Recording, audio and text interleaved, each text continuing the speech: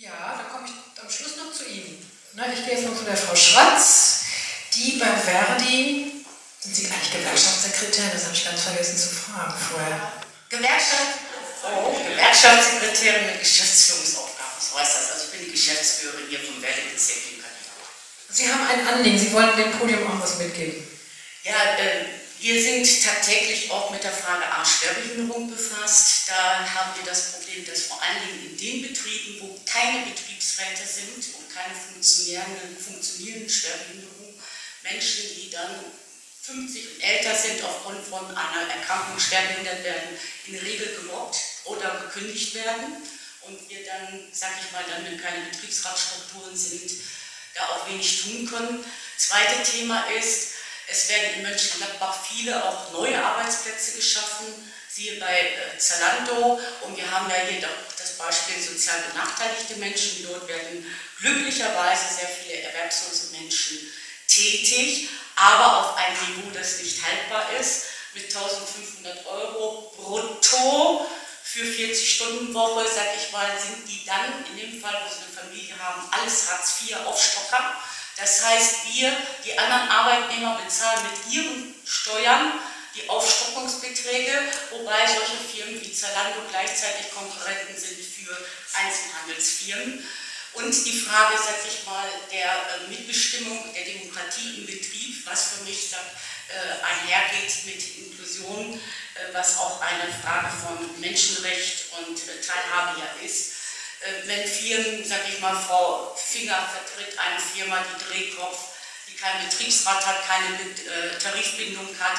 Wir haben hier einen großen AWO-Kreisverband, wo ein Herr Bohlen Alleinherrschaft ist. Der ist hier undemokratisch Vorstandsmitglied als Alleinperson und Geschäftsführer mehrerer GmbHs, ebenfalls ohne Betriebsrat, seit zehn Jahren ohne Tarifbindung. Dann ist das etwas, wo aus meiner Sicht Politik ganz konkret auch tätig sein muss. Es ist nicht alles gut, was Arbeit schafft, sondern es ist nur dann gut, wenn gute Arbeit geschaffen wird. Und da möchte ich doch die Politiker und Politikerinnen hier in dieser Runde auch an ihre Verantwortung und Einflussnahme sowohl in sozialpolitischer als auch in arbeitsmarktpolitischer Hinsicht erinnern. Das haben Sie getan. Dafür herzlichen Dank. Und ich wollte Sie nicht unterbrechen, wenn Sie da schön danach. also was, was äh, quasi noch so ein bisschen dampft, äh, ohne den Herrn Deussen jetzt, also das werden wir sicherlich auch noch entsprechend vertiefen. Was die Frau Schwarz gerade sagte, ähm, das ist ja im Grunde genommen ein Skandal, dass wir uns mit äh, Großansiedlungen wie Zalando brüsten und die letztendlich diese besagte Teilhabe, ist ja auch eine Form von, von ja, ich sage jetzt mal im weiteren Sinne Inklusion, Teilhabe, Mitwirkung, äh, Bedürfnisse artikulieren, aus Pausenregelungen sind und all diese Dinge mehr dass diese Firma, die von Herrn Schückhaus, Herr Schückhaus, Chef der Stadtentwicklungsgesellschaft und maßgeblich an dieser Ansiedlung beteiligt gewesen, wenn ich das so richtig verfolgt habe, äh, es ist so noch skandalös, dass solche Firmen letztendlich keinen Betriebsrat haben ähm, und Mitarbeiter über unzumutbare Gegebenheiten berichten, gerade was die Pausen angeht. Da muss man dann kilometerweit laufen, um dann sein Brot einzunehmen. Das geht dann im Schnelldurchgang. Dann ist, die Pause auch schon wieder zu Ende. Ähm, Herr Bude, kann man sich denn dann mit so einer Firma überhaupt brüsten? Es geht darum, dass äh, unter anderem die Firma Zalando im Regiopark äh, Arbeitsplätze schafft. Übrigens bin ich der Meinung, äh, mir ist ein Mensch, für den ich zwar aufstocken noch bezahlen muss, tausendmal lieber, als wenn ich den ganz bezahlen muss. ich glaube, das hat auch was mit einem gesellschaftlichen Anspruch zu tun, dass ein Mensch überhaupt wieder in Arbeit kommt. Im Übrigen kann ich deine Zahlen, eine Zahl hast du nicht genannt, ich kann auch deine Einschätzung nicht teilen. Die Agentur sagt mir andere Zahlen, also das kann man ja nochmal klären, also wesentlich weniger Aufstocker, als wie du es jetzt so ein bisschen, ein bisschen dargestellt hast. Ähm, das Thema Betriebsrat äh, werden Sie in einer Ansiedlungskriterienkatalog nicht unterbringen können. Ob das, das, dass das unter Umständen nicht gut ist, ist eine völlig andere Frage, aber Sie werden es nicht unterbringen.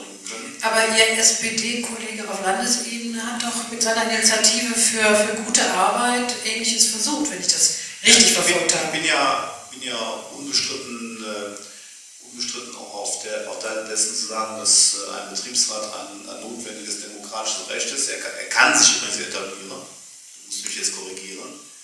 Also ich. Bitte?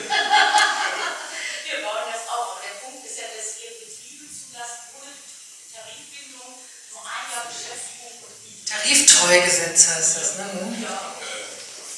Auf Landesebene. Ja, Moment, Moment mal, Moment mal. Also, müssen wir vielleicht auch ein bisschen differenzieren. Also, man müsste mich jetzt völlig belogen haben, aber bei Zalando wird, wird Mindestlohn bezahlt. Zumindest den, den wir jetzt einführen wollen, richtigerweise. Ja. Und die, die Zahlen, ich gehe wieder. Die mögen auch differieren, aber äh, Ja. letztendlich ist es erkannt, worum es geht. Oder wollten Sie das noch ergänzen, Herr Rüde? Okay.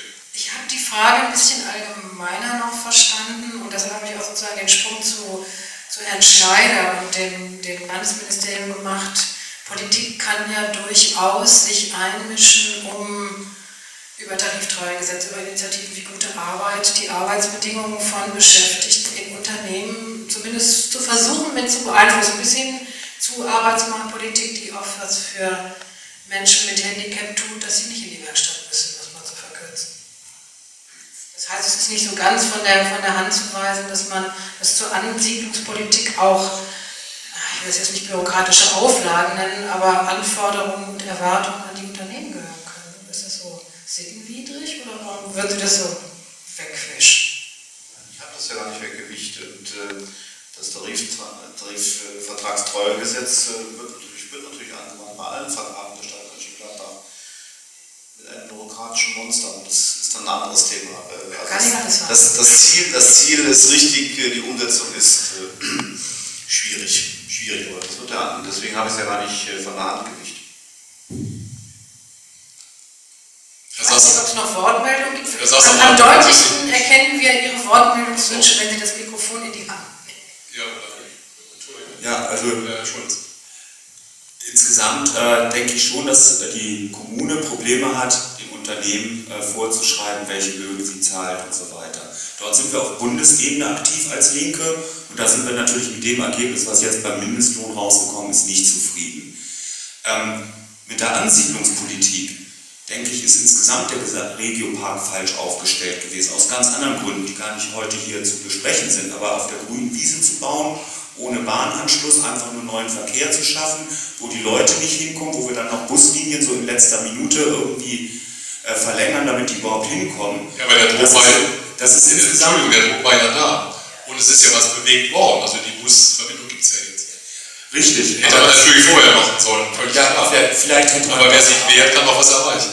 Vielleicht hätte, man, vielleicht hätte man aber auch gar nicht dort so ein Gewerbegebiet bauen müssen. Vielleicht hätte man gar nicht auf diesen Bereich Logistik setzen müssen. Das Ganze ist aber natürlich auch wieder ein Problem. Diese Entscheidungen werden ja zum Teil gar nicht mehr so im Rat getroffen, weil EWMG und WFMG dort sehr viel vorbereiten und damit Politik natürlich auch nur noch irgendwo so in letzter Minute die Hand heben kann.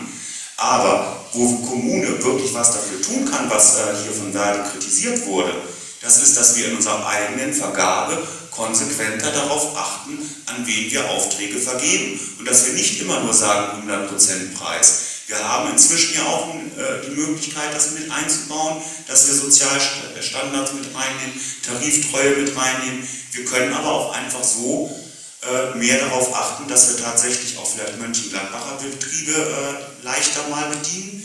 Wir können aber auch vor allen Dingen im sozialen Bereich, wo es immer um die Fachleistungsstunden geht, da werden wir, geben wir ja auch den Druck immer weiter an die freien Träger. Viele freie Träger fühlen sich eigentlich noch tarifgebunden, sie sind es aber nicht wirklich. Es Ist jetzt bei der AWO angekommen, sozusagen, nach den zum, Anmerkungen. es, es, ist auch, es ist auch die Ja, AWO, haben. äh, aber es sind auch die vielen, vielen kleinen Träger. Ich selber bin auch im Vorstand von einem solcher Träger.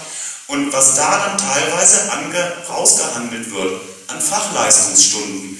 Ähm, 2006, 2007 wurde das mit der flexiblen Erziehungshilfe gemacht. Das ist dann nicht mehr vernünftig bezahlbar. Unser Verein ist dann damals rausgegangen, konnte dort diesen Preiskampf nach unten nicht mehr mitmachen. Und es ist auch nicht richtig, diesen Preiskampf nach unten mitzumachen. Nur um den Arbeitsplatz zu erhalten. Ja, ich freue mich über jeden Arbeitsplatz und ich stimme Ihnen auch zu. Arbeit ist natürlich auch etwas, was Selbstwertgefühl gibt. Insofern freue ich mich auch, wenn jemand einen Arbeitsplatz hat, wo er Aufstocker ist, weil es für ihn selber erstmal ein Ansatz ist. Es ist aber gesellschaftlich, gesamtgesellschaftlich falsch. Und da müssen wir als Kommune gegenlenken. Da können wir gegenlenken. Und genau dieses Beispiel mit Fachleistungsstunden, mit Ausschreibung, mit Vergabe. Da können wir so viel tun. Ähm, und da sollten wir auch was tun. Und das fängt natürlich auch an, dass wir in der Stadt selber Jobs schaffen sollen. Denn neue Stellen können auch Geld sparen. Wenn ich mir angucke, was permanent ausgeschrieben wird an Architektenleistung, da könnten wir häufig für ein oder zwei dieser Aufträge einen Architekten dieses gesamte Jahr anstellen. Der macht dann mehr Arbeit für die Stadt und wird dann auch noch richtig bezahlt. Und nicht irgendjemand Drittes äh, sagt noch die Gewinne ein. Also insofern, da können wir das auch alles zusammenfassen. Ich habe noch zwei, zwei äh, Wortmeldungen. Wir dürfen aber Herrn das Thema Arbeit nicht vergessen. Ähm, ja, aber das will wir alles machen. Ich nehme die beiden Wortmeldungen kurz auf und wir denken aber an die richtige Reihenfolge. Das war nämlich zum Thema, wie ist das mit dem Arbeitsplatz auf dem ersten Arbeitsmarkt und wie komme ich zu der Beratung, die mir wirklich weiterhilft. Und dann nehme ich noch die beiden Fragen dazu. So, ich möchte noch etwas zu dem Herrn Bude sagen. Und zwar äh, sagte er, es wäre ihm lieber aufzustocken, als einen Menschen ganz zu bezahlen. Und so etwas finde ich einfach menschenunwürdig, so etwas zu sagen. Weil wenn ich mich als Arbeitnehmer sehe, dann möchte ich mein Geld verdienen und dann möchte ich mein Geld ganz haben und nicht noch irgendwo betteln gehen. Ich bin zwar nicht in der Lage, aber ich weiß, dass es genügend andere Menschen gibt, die so sind. Und ich weiß auch, dass andere gemobbt werden, die krank sind, die man aus den Betrieben heraus haben will. Und die Politik geht immer darüber hinweg macht nur immer dieses schöne bla bla bla und wir reden drüber und wir reden drüber und es wird in 14 Tagen geredet und es wird in vier Wochen geredet und geschehen und nichts. Macht mich total ärgerlich. Genau. Keine Frage, sondern Anmerkung. Herzlichen Dank dafür. Darf ich dir mal kurz da einhaken? Was würden Sie Herrn Ude denn empfehlen? Vielleicht in zwei Sätzen. Ja. Erstmal zu überdenken, was er dann sagt ob er sowas überhaupt äußert, weil sowas ist einfach nicht gut, den Menschen das zu sagen. Und dann vielleicht, ich weiß nicht, wie das politisch läuft, zu sehen, wie man die Läden oder die äh, Betriebe hier hinbekommt und dass man auch vernünftige Betriebe hier hinbekommt und dass man die hier einintegriert. Ich wohne noch nicht so lange in Mönchengladbach, ja. aber ich weiß, dass hier in Mönchengladbach sehr, sehr viel falsch gelaufen ist. Danke. Ja. Darf ich die eine Frage von dem Herrn noch mitnehmen? Dann lass, lass, ich lassen Sie mich doch direkt antworten. Ich glaube, das, äh, Dann bleibe ich hier bei dem stehen. Ich, ich mache es auch ganz kurz. Also, Sie hätten mich jetzt falsch verstanden, wenn ich das in irgendeiner Weise diskriminierend gemeint habe. Ich will damit zum Ausdruck bringen, ein Mensch, der arbeitslos ist, wird richtigerweise mit Transferleistungen bezahlt. Und zwar richtigerweise, weil er Anspruch darauf hat. Das ist auch für mich übrigens kein Betteln. Da verstehe ich jetzt Ihre Wortwahl nicht. Der muss nicht betteln, der hat einen Anspruch auf eine Sozialleistung.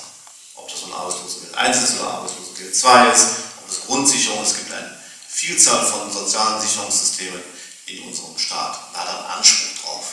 Das ist für mich kein Bettler, sondern ein Mensch, der Anspruch drauf hat. Übrigens, da frage ich nach Schuld. Es gibt keine Schuld, da gibt es ganz viele Gründe und der hat einen Anspruch drauf. Erstens, bin,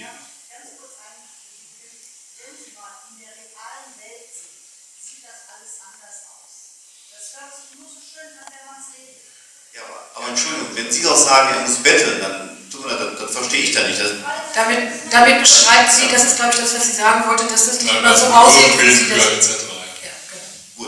Erstens. Zweitens, äh, in dieser Stadt sind in den letzten fünf Jahren 5.500 neue Arbeitsplätze entstanden. Und zwar nicht nur im Logistikbereich, sondern auch hochqualifizierte Arbeitsplätze, zum Beispiel im Nordpark, äh, mit der Santander Bank und so weiter. Also es ist durchaus ein. Nee, jetzt nicht mehr. Lass mal kurz bitte ausreden. So, also insofern äh, habe ich damit zum Ausdruck bringen wollen, wenn meine Wortwahl missverständlich ist, dann, dann tut mir das leid.